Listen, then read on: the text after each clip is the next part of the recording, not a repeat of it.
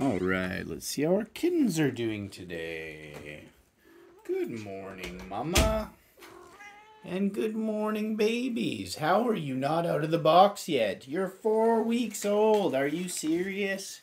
You guys are lazy. The floor is lava and you're scared. I get it. It's all right. Hi, Tubular. Sweet Potato. Durian. Slipper graffiti, and way in the back, boop, is Royal.